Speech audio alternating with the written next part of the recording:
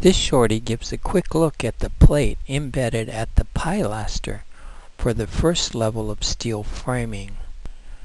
Note in the 2D drawing the steel plate, the studs, the flange that's welded to this plate, and bolted to the beam. When we see this 2D in 3D, note the studs embedded in the pilaster, these can be straight studs as shown here or they can be hooked into the reinforcing for the pilaster.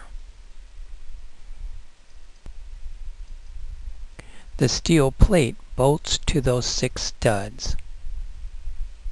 The flange is welded perpendicular to this plate and the beam bolts to the flange.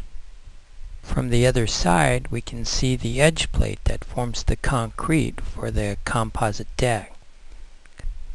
This holds the concrete away from the pilaster and the masonry wall for the expansion joint. The composite decking includes the lightweight concrete, the reinforcing, inside that concrete either a wire mesh or a rebar array. Here are the shear studs. They would be welded through the decking into the top of the beam along the length of the beam.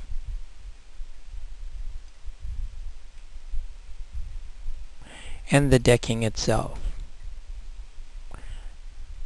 The steel decking and then the backing plate. Once all the steel is in place, and after plumbing the building, all the steel connections would be welded to complete the moment frame for the building.